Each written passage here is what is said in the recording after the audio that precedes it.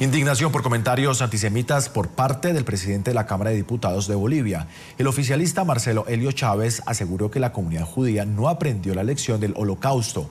El político hacía referencia a la alianza que mantiene el gobierno de Israel con Estados Unidos. Durante la Segunda Guerra Mundial, la humanidad vivió el más cruento capítulo de su historia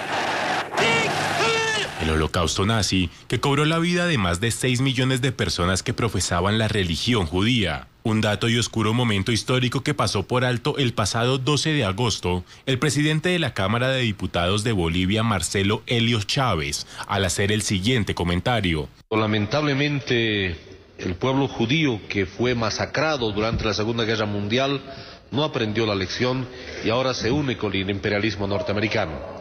Esta secuencia revelada por nuestro medio aliado Infobae se grabó durante una sesión del legislativo donde la entidad se solidarizó con el pueblo palestino por los bombardeos del gobierno israelí. Ante la condena de la oposición por la presencia del representante de la autoridad palestina, el político oficialista recriminó airadamente a uno de los legisladores. Nos va a hacer entrega de una bandera de su país, nada más eso, no vamos a escuchar ni nada porque no somos proimperialistas como usted, colega. En repetidas oportunidades, el presidente boliviano Evo Morales condenó el enfrentamiento en la franja de Gaza, al que calificó como un genocidio contra los palestinos. Además, al considerar a Israel un Estado terrorista, derogó la ley que les permitía a los ciudadanos de ese país entrar a Bolivia sin visa, medida que entró en vigor el pasado 31 de agosto.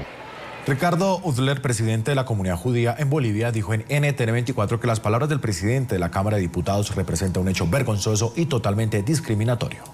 El gobierno nacional todavía no ha dado ninguna postura al respecto y, me imagino que una vez de que se empiecen a enterar de todo el video este que ha sido grabado en la Cámara de Diputados, tendrán que dar una explicación no solo a la comunidad judía, sino a la ciudadanía en general, ya que es un acto totalmente discriminatorio.